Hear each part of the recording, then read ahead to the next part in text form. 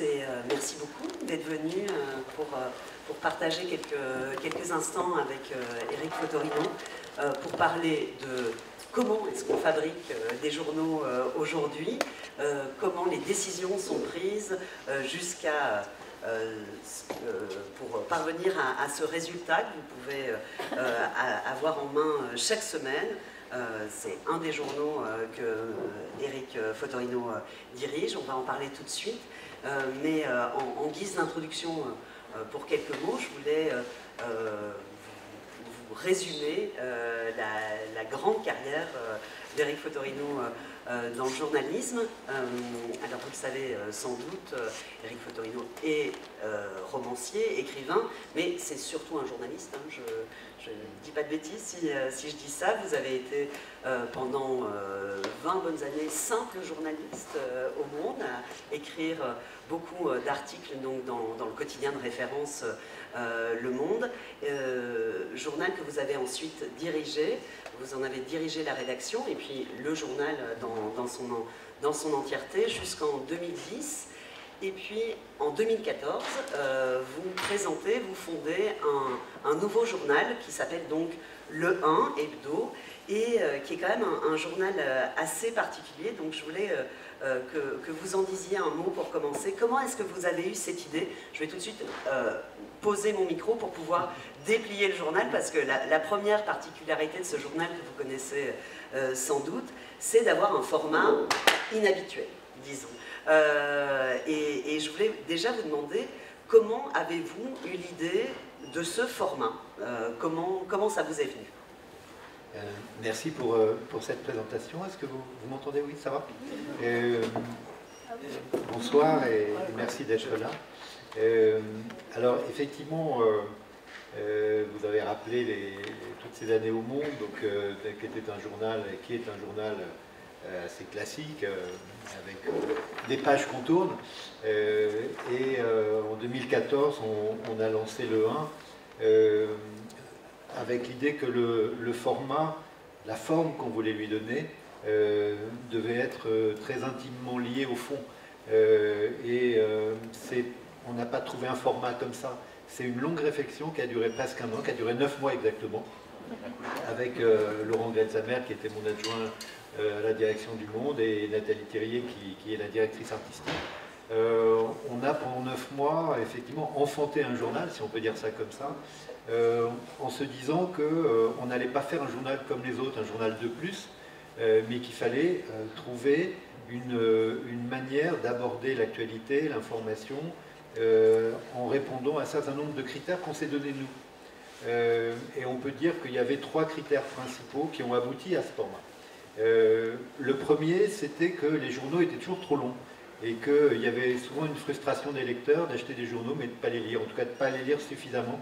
Et donc euh, les abonnés, je me souviens des abonnés du Monde qui considéraient que voyant la pile monter et tous les articles qu'ils n'avaient pas lus, euh, c'était un, des motifs principaux de désabonnement. Ce n'était pas tellement le contenu éditorial, même si quelquefois certains étaient très fâchés après un article, une analyse, etc., et se désabonner. Mais l'essentiel des gens qui se désabonnaient, c'est qu'ils trouvaient qu'ils étaient frustrés, ils avaient une mauvaise conscience, ils entretenaient une relation euh, difficile avec leur journal, parce qu'il y avait trop à lire. Et ils trouvaient peut-être qu'ils payaient trop pour ne pas tout lire. Du coup, effectivement, c'était comme une sorte de gâchis de, gaspillage. Donc ça, c'était vraiment le, premier point, un journal qu'on puisse... Donc, du coup, on en a déduit euh, que le journal qu'on allait faire euh, devrait être un journal qu'on peut lire du début jusqu'à la fin sans ce sentiment de déperdition et de frustration. Euh, euh, L'autre point très important euh, qu'on a eu en tête, enfin quand je dis il y a trois critères, je suis en train de voir qu'il y en a peut-être deux fois plus, enfin en tout cas les trois les plus structurants, je, vais, je développerai peut-être un peu les autres, c'était que l'information était perçue comme un entre-soi, c'est-à-dire l'entre-soi des journalistes, du personnel politique, des élites en fait. Euh, et donc, euh, et beaucoup, les journalistes parlent aux journalistes, écrivent pour les journalistes, et que finalement, on oubliait euh, un acteur très important qui sont les lecteurs. et nous, on, avait bien à l'esprit cette dimension-là, et c'est pour ça qu'on on a décidé de créer un, journal qui soit à la fois un journal de journalistes, mais aussi un journal d'écrivains, de, de, poètes, je ne dirais pas que je suis d'abord journaliste et après écrivain, je pense que c'est très, très partagé. Euh, et, euh, et, aussi de chercheurs, d'intellectuels, euh, d'acteurs de terrain, et aussi, on en parlera, de dessinateurs, de graphistes, etc. Donc si vous voulez, ce journal a cessé d'une certaine manière dans notre esprit d'être un journal pour devenir un objet. Et pour devenir un objet, ce qui évidemment donnait une petite idée de la recherche d'un format. On ne l'avait pas au départ. Euh, le troisième critère, donc si je dis un journal qu'on lit jusqu'à la fin, un journal qui n'est pas dans l'entre-soi, euh, le troisième critère, euh, c'était de ne pas devenir un hypermarché de c'est-à-dire qu'on trouve tout dedans, mais tout survolé ou tout repris de dépêches, avec des formats très formatés justement, très courts, etc.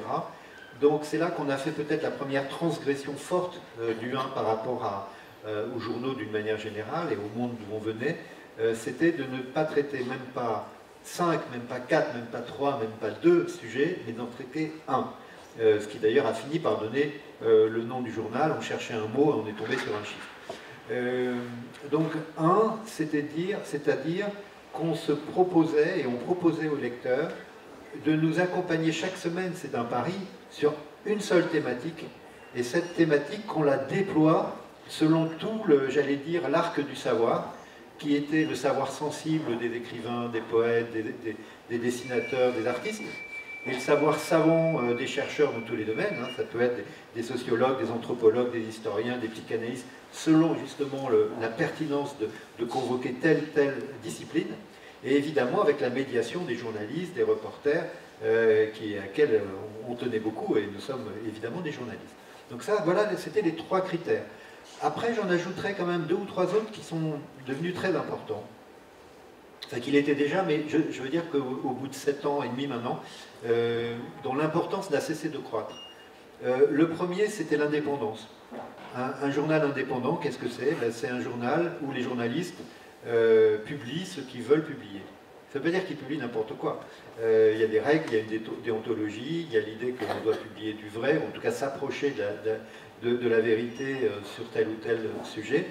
mais l'indépendance, ça voulait dire euh, pas d'actionnaire de référence euh, qui nous oblige, qui nous impose, ou même qui nous sollicite pour avoir exercé telle ou telle influence dans tel ou tel compartiment de la vie publique, que ce soit politique, économique ou, culturel.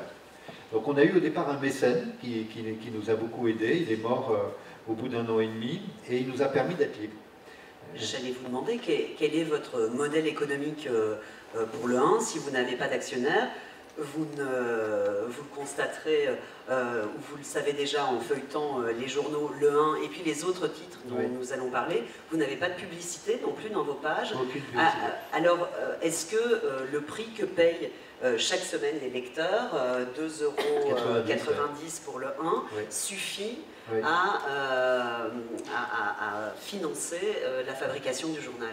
Oui, ben c'est exactement ça. C'est-à-dire qu'au bout de deux ans, le 1 était à l'équilibre. C'est-à-dire qu'on on pouvait. Il faut dire que c'est exceptionnel dans la presse. C'était assez exceptionnel. Alors, c'est vrai que.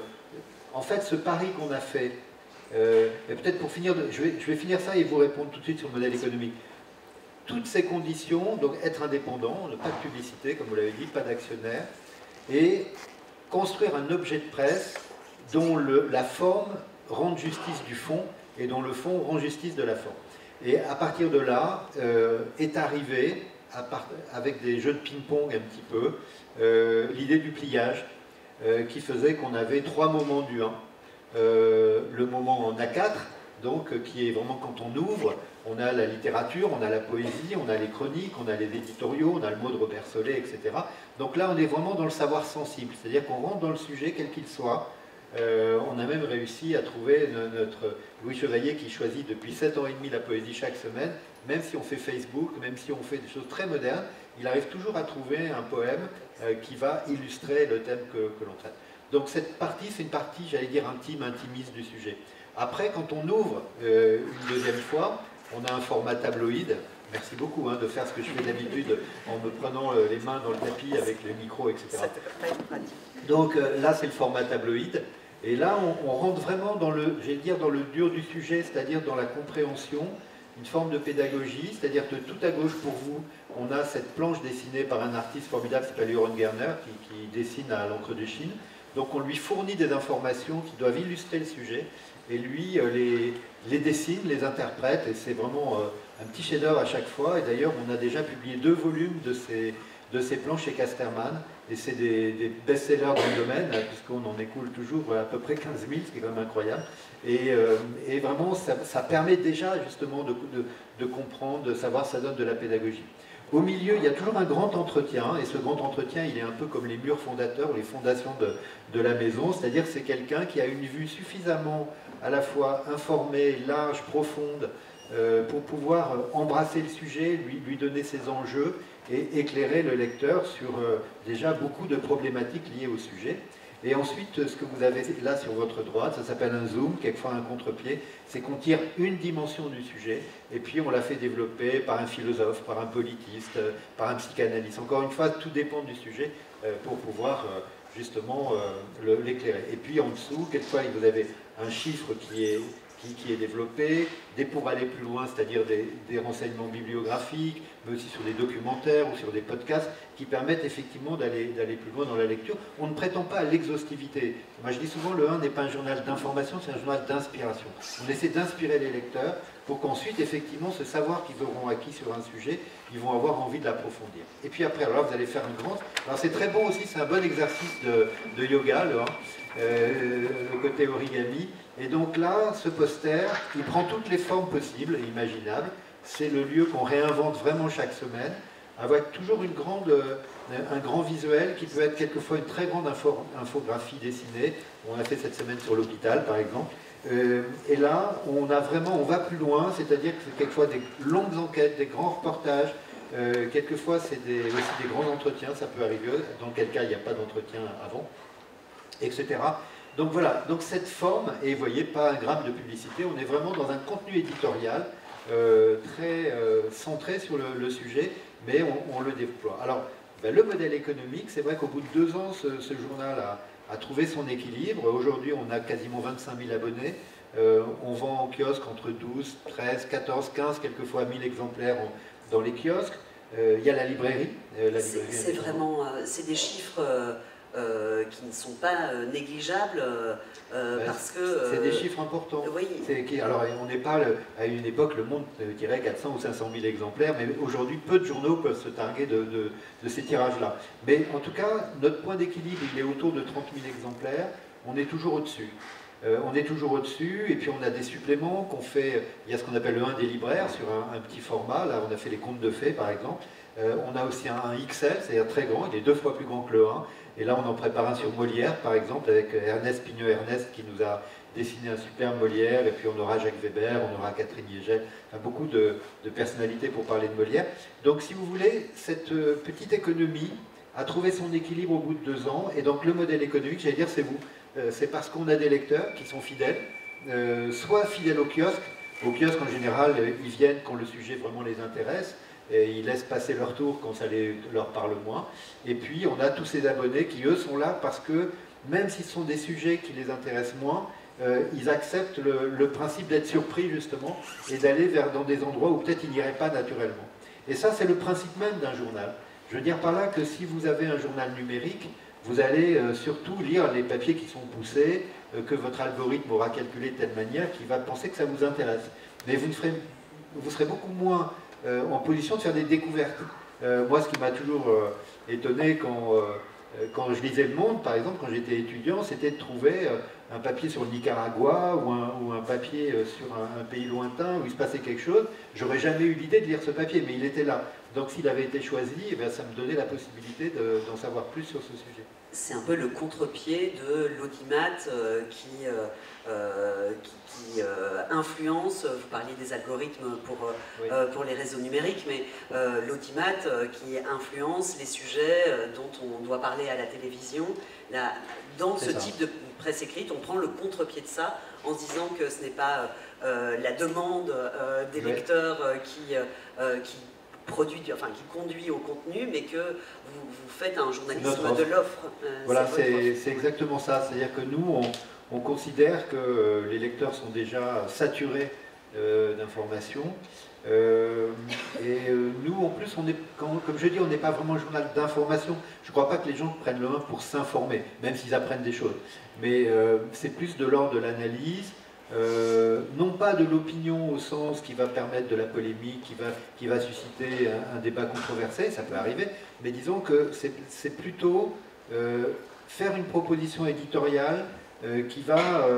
je me souviens de, l'ancien président d'Arte, Jean Clément, qui quand il avait eu le 1, il a dit c'est de l'air pour la tête. J'avais bien aimé cette expression parce qu'effectivement, ça nous aère la tête au sens, ça nous permet de sortir ou de préjugés ou de méconnaissances et de creuser vraiment et de voir que la vérité, elle est toujours euh, assez compliquée à attraper parce que que vous soyez euh, justement euh, historien, sociologue, écrivain, politologue ou autre, ben évidemment cette vérité, vous allez la trouver dans des angles différents. Et c'était ça, l'idée du dépliage, d'ailleurs, c'est aussi le dépliage de notre propre cerveau, notre propre esprit. Le, le, est construit par pli, le, toute notre cortex, euh, tout ce qui est la, zone corticale, donc de la, de la mémoire, de la réflexion, euh, sont des plis qui, se succèdent. Et donc effectivement, on déplie le savoir comme d'une certaine manière, humainement, on, est construit, nous, pour réfléchir. Alors vous avez poursuivi après le 1 cette, ce journalisme de l'offre, proposer des, des, contenus ou des formats différents.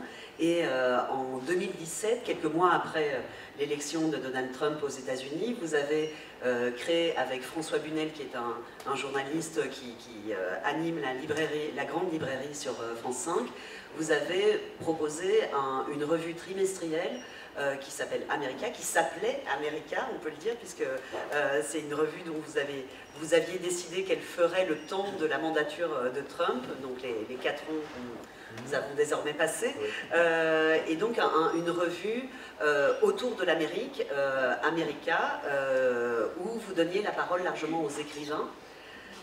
Ensuite, pardon, je, déroule encore un peu. En 2019, si je ne dis pas de bêtises, vous lancez encore une nouvelle revue euh, qui s'appelle cette fois-ci Zadig, euh, qui est aussi une revue trimestrielle, un gros morceau, euh, je, crois qu'il y en a au moins un exemplaire par ici, et dont l'ambition cette fois-ci est de raconter la France sous, sous, tous ses aspects, et vous allez nous en dire un mot. Et, mais je finis parce que l'aventure, euh, euh, les aventures journalistiques éditoriales de Monsieur Fotorino sont, euh, amples. Et, donc votre petit dernier, qui est sorti en, mars 2020, s'appelle Légende. Et c'est là aussi un, très bel objet parce que c'est un grand journal papier dont la proposition éditoriale est de mettre en lumière une légende avec beaucoup de photos. voilà, je voulais euh, donc euh, euh, montrer tous les journaux que vous avez créés et que vous faites vivre aujourd'hui. Et avant d'entrer dans le vif du sujet sur la fabrication de ces journaux, je voulais quand même vous demander, vous qui avez travaillé dans un quotidien pendant plus de 25 ans, euh, le quotidien de référence euh, en France, qui est Le Monde. Euh, quel est votre rapport à l'actualité désormais Vous qui proposez des journaux justement de temps long, vous disiez des, non pas des journaux d'information. Est-ce que votre rapport personnel à l'actualité a changé? Alors, c'est une, question intéressante parce qu'effectivement, à travers tout ce que vous avez déroulé de ce, parcours éditorial, d'éditeur de presse, il y a effectivement une sorte d'obsession de se détacher de l'actualité et quelquefois, avec un clin d'œil, je dis que je fais des journaux d'inactualité. Je veux dire par là, c'est que l'actualité, quelquefois, elle a une telle réverbération qu'elle occulte ce qui est important. Euh, et donc, pour moi, je ne me prends, j'essaie de ne pas me laisser prendre par l'actualité, euh, c'est-à-dire du bruit médiatique quotidien où on parle tous de la même chose, pour essayer justement de faire entendre des signaux, sinon des signaux faibles, mais en tout cas d'autres réalités qui, elles, ont le, euh, une importance plus grande dans la mesure où elles sont de vrais événements. Et, quelquefois, l'actualité, c'est pas un événement. L'actualité, c'est ce dont tout le monde parle. Euh, et quelquefois, c'est juste la surface des choses. Ça fait du bruit. Comme ça fait du bruit, c'est repris. Et on a maintenant des machines qui amplifient le bruit euh, avec les réseaux sociaux, avec tout ce qu'on connaît.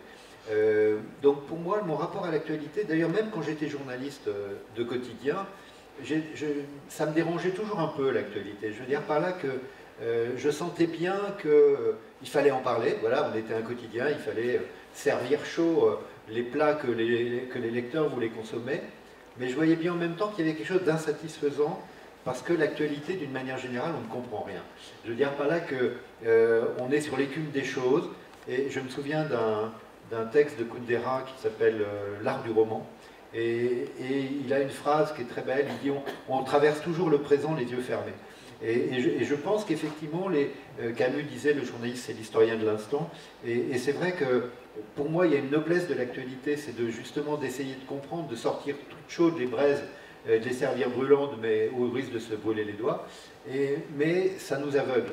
Euh, et, pour moi, je voulais essayer de, créer des journaux euh, qui ne soient pas des journaux d'aveuglement, mais qui soient des journaux dans lesquels on décante. Et je vais vous donner un exemple très concret. Lorsqu'on a, je ne sais pas si vous avez un, exemplaire de Zadig par ici, parce que ça, j'aurais pu le montrer, que, vous compreniez de quoi il s'agit. C'est gentil, merci beaucoup. donc Zadig, comme vous l'avez dit, je, je l'ai lancé avec mon équipe en 2019 euh, c'était deux ans après qu'on avait lancé America, euh, l'Amérique de Trump, euh, et on s'était rendu compte, parce qu'il y avait un tel saisissement, vous vous souvenez, en France, pas seulement en Amérique, mais en France, de voir Trump élu, qu'on s'est dit, mais on ne comprend pas l'Amérique, qu'est-ce qui se passe aux États-Unis? Et donc on avait donné, comme dans, c'était la recette du 1 d'une certaine manière, c'est-à-dire qu'on avait donné la parole à des écrivains, beaucoup d'écrivains américains, ça avait commencé par Tony Morrison, par Salman Rushdie, par euh, beaucoup d'écrivains de, majeurs des États-Unis, euh, Paul Auster, enfin plein d'autres, Irving, je me souviens, Stephen King, enfin bon, il y en a eu beaucoup. Euh, et puis aussi à des reporters, à des journalistes qui connaissaient très bien les États-Unis pour essayer de, de, comprendre ce qui s'était passé en Amérique. Et devant le succès d'America, je me suis dit, mais en fait, est-ce qu'on comprend mieux la France, nous et, je me suis dit que non. Et, euh, alors qu'un candidat trumpiste euh, s'avance en France, euh, c'est sûr qu'il faut comprendre la France. Bien sûr, mais même l'élection d'Emmanuel Macron était quelque chose d'incompréhensible dans le système qu'on avait, où il fallait avoir fait une carrière politique, avoir été élu, etc. je vais faire la alors, ce que je voulais vous dire sur justement la question d'actualité, d'inactualité si vous, euh, si vous ouvrez, vous commencez, vous allez avoir un grand entretien. Euh, après votre édito. Voilà, après l'édito et le dessin de Catherine Meurice. Euh, il y a à chaque fois un grand entretien. Et là, dans ce. Donc, ça, c'est Léla Slimani. Et si on continue encore un peu. Voilà. Et là, c'était Hélène Carrière d'Ancos. Donc, en fait, depuis la naissance du 1 de, Zadig, on commence par un très long entretien de 20 pages avec une figure. Alors, il y a eu il y a Annie Ernaux, il y a eu Mona Ozouf, c'est d'elle que je vais parler, il y a eu Michel Serres, il y a eu Pierre Lemaître, euh, il y a eu Florence Omna, etc. Et donc, hein. c'est un trimestriel, oui, c'est un peu comme un livre, puis il y a des immersions, il y a, beaucoup de choses euh, assez passionnantes, je dois dire, sur 200 pages. Et euh, donc le premier Zadig, on avait appelé ça Réparer la France. Et il est sorti quasiment au moment des Gilets jaunes, tel point que beaucoup de confrères m'ont dit Mais alors, est-ce que vous aviez prévu les Gilets jaunes? J'avais rien prévu du tout. Mais simplement, on travaillait depuis des mois sur cette France euh, qui disait non, cette France qui souffrait, euh, qu'on appelait des invisibles avec ce mot qui est assez horrible parce qu'ils sont invisibles par qui? Euh, c'est des gens visibles, mais simplement on ne veut pas les voir. donc j'avais fait un grand entretien avec l'historienne Mona Ouzouf. Et donc la première fois que j'étais allé la voir, c'était pour qu'elle raconte sa France, qu'est-ce que c'est la France pour elle, donc elle était arrivée de Bretagne, elle racontait beaucoup de choses sur son éducation, euh, sur les catholiques, sur le breton bretonnant, son père était un militant de la langue bretonne, etc.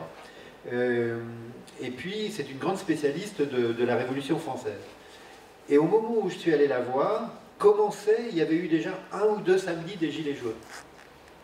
Et donc je lui ai dit à la fin de l'entretien, mais est-ce que vous qui êtes une grande spécialiste de la Révolution française, est-ce que vous voyez des échos, des liens, des rapprochements qu'on pourrait faire entre la Révolution, les sans-culottes et les Gilets jaunes.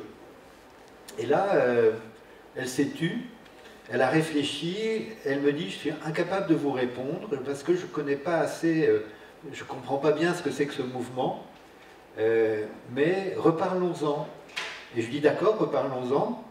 J'avais encore un mois devant moi. Je lui ai dit, est-ce que vous voulez qu'on se voit dans trois semaines? Elle me dit, d'accord, dans trois semaines. Au monde, j'aurais jamais pu faire une chose pareille. Au monde, j'aurais fait Mona Ozouf, j'aurais quand même posé deux ou trois questions, elle aurait essayé de répondre quelque chose et je l'aurais publié le lendemain. ou en fin de semaine au maximum. Là, j'ai eu trois semaines encore, et elle aussi, euh, pour réfléchir à ma question.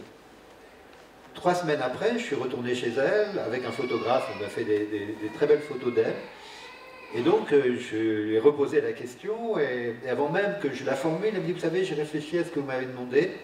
Elle a commencé à me dire, ben, vous savez, les révolutionnaires, c'était des vrais utopistes qui voulaient vraiment changer la société. Ils avaient prévu, par exemple, évidemment ils ne l'ont pas fait, de détruire les villes et de les reconstruire de telle manière que le soleil entre dans toutes les rues. Donc effectivement, il fallait être quand même très utopiste pour euh, vouloir faire une chose pareille. Et elle m'a dit la chose suivante, elle m'a dit, ben, vous voyez ce mouvement des Gilets jaunes tel que je le perçois maintenant, euh, c'est une révolution sans espérance. Et euh, j'ai trouvé ça très fort, cette phrase. Et d'ailleurs, cette phrase a été reprise partout. Euh, une révolution sans espérance, donc elle, a expliqué en quoi, pour elle, c'était une révolution de gens perdus et qui, n'avaient pas d'espoir. Et, vous voyez, c'est le temps long qu'on s'est donné qui a permis de faire ce journal d'actualité, mais aussi d'inactualité, c'est-à-dire qui était capable d'aller au-delà de l'écume des choses pour essayer de rentrer euh, sur ce que Lévi-Strauss appelait euh, les invariants, quelque chose de très structurel, euh, qui fondait ben, ce mouvement social en, l'occurrence.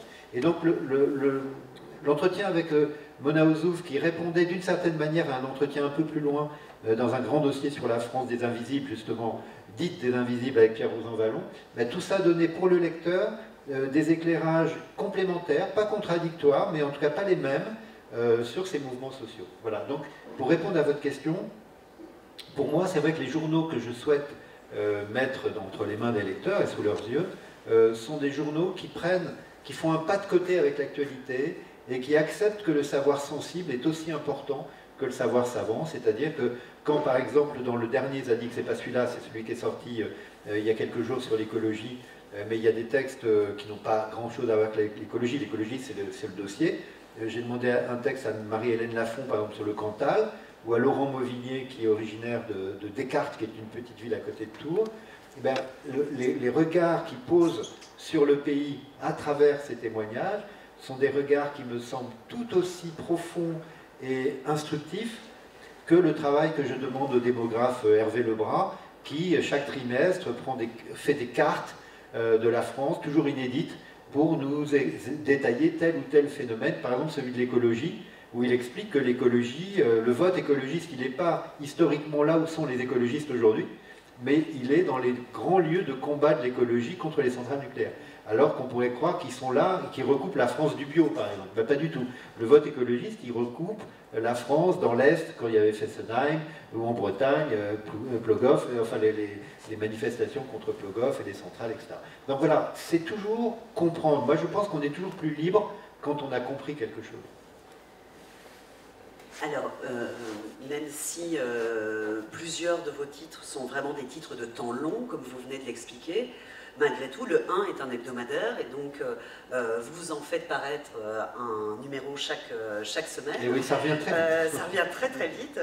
faire un hebdomadaire, c'est, on a l'impression un peu d'être dans le face au tonneau des Danaïdes. Hein, on, remplit, on remplit des, des colonnes de journaux et puis il faut toujours trouver des idées. Alors justement, euh, comment faites-vous, euh, comment on fait au 1, vous et votre équipe, pour choisir euh, la thématique, le thème de, la semaine prochaine, de la semaine, voilà. quel, est le, les échanges d'idées que, vous animez pour parvenir à, cette thématique qui, certes, c'est un pas de côté de l'actualité, mais, mais vous devez quand même proposer à vos lecteurs quelque chose qui explique bien sûr, bien le sûr. temps présent. Pour vous dire, le, le numéro qui sort aujourd'hui en kiosque s'appelle l'hôpital en état d'urgence, bah, on aurait pu faire ça la semaine dernière, ou il y a un mois, ou dans un mois.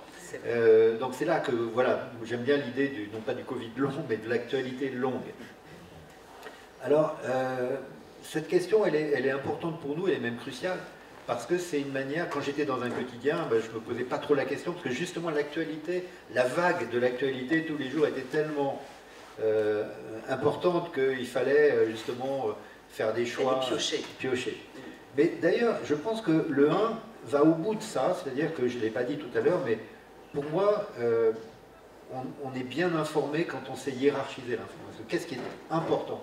C'est pour ça que quelquefois, c'est paradoxal de dire, mais je trouve que l'actualité n'est pas importante.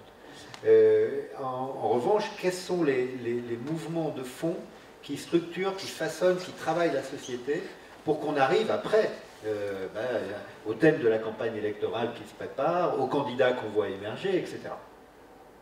Et donc, chaque semaine, cette, conférence de rédaction qui a lieu tous les lundis, euh, elle est très importante parce qu'en effet, on, cherche euh, quels sont les thèmes qu'on pourrait traiter. Mais d'abord, expliquez-nous qui y a, qui y a autour de la table. C'était ça, c'était ça la première chose à dire.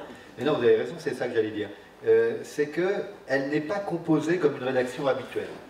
C'est-à-dire que dans cette rédaction, dans ce comité de rédaction, vous avez bien sûr les journalistes du, du 1 qui sont là, vous avez des chercheurs, donc dans plusieurs domaines, euh, en sciences politiques, en économie, en sociologie, euh, on a euh, en environnement.